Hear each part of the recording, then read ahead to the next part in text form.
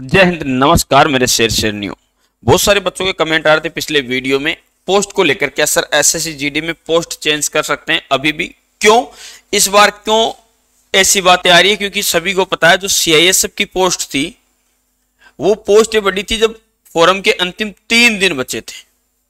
आप सबने देखा होगा जब फोरम के अंतिम तीन दिन बचे थे, उस दिन सीआईएसएफ की पोस्ट की एड की गई थी। उससे पहले सीआईएसएफ की ज़्यादा पोस्ट नहीं थी 300-400 पोस्ट थी। कई राज्यों में एक भी पोस्ट नहीं थी, जैसे गर्ल्स के लिए एक भी पोस्ट नहीं थी। बाद में एड की तो उन लड़कियों ने भी, कई लड़कियाँ ऐसी है जिन्होंने सीआईएसएफ पोस्ट दी नहीं। तो क्या उनको अभी और मौका मिल जाएगा पोस्ट चेंज करने का?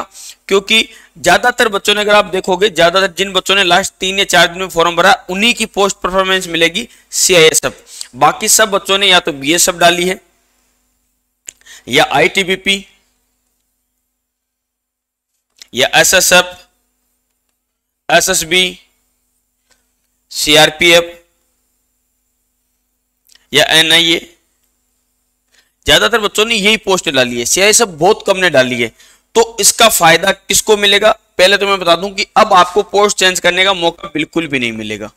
हर बार भी नहीं मिलता, ना इस बार मिलेगा, भले ही पोस्ट बाद में ऐड की गई हो। क्यों? क्योंकि एस एस में ऐसा पहली बार नहीं हुआ कि किसी डिपार्टमेंट की पोस्ट ऐड की गई हो।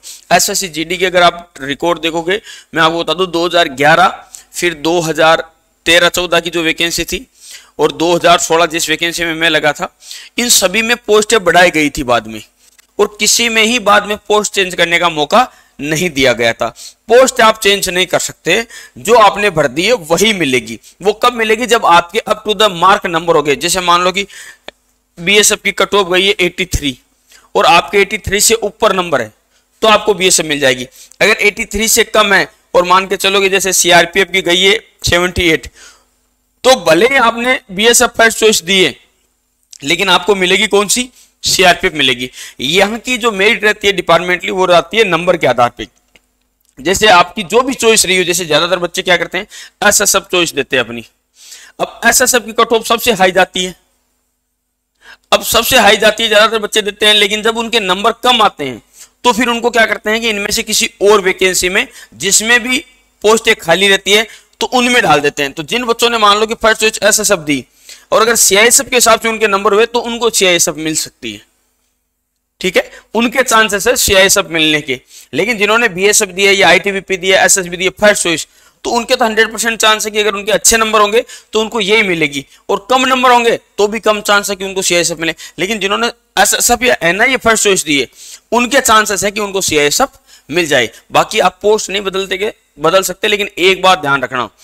आपने जिस ज़िले से जिस राज्य से फॉर्म भरा है, उस ज़िले के आपके पास में डोमिशियल सर्टिफिकेट होना अति आवश्यक है।